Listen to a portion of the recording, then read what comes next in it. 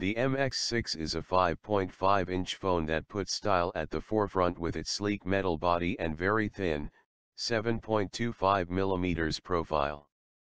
The phone runs the Flyme 5.2 interface on top of Android 6.0 Marshmallow, and it features a fast camera that Meizu claims has undergone some rigorous testing to deliver superior results. Here is a quick look at the Meizu MX6 specs in a nutshell. Meizu. MX6 specifications. Platform Android 6.0 Marshmallow. With Flyme 5.2 width. Display 5.5 inch LCD with 1080 x 1920 pixels.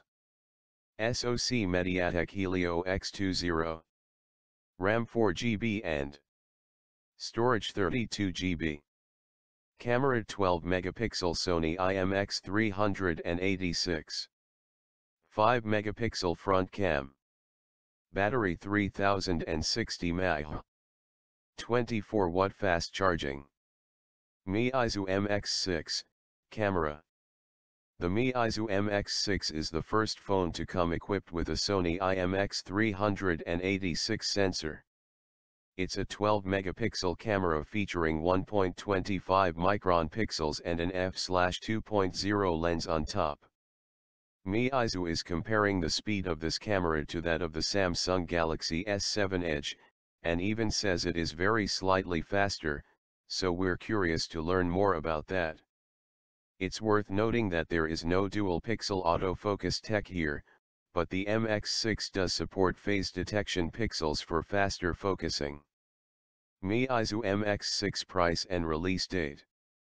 The most impressive thing about the Meizu MX6 is that it follows in the footsteps of other phones made in China. That is, it's very affordable. Meizu will be selling the MX6 for an official price of $300 for an unlocked phone. Keep in mind that Meizu phones are currently not officially available in the United States and we don't yet know if the MX6 will have compatible 4G LTE bands. Meizu does sell its phones in some European countries.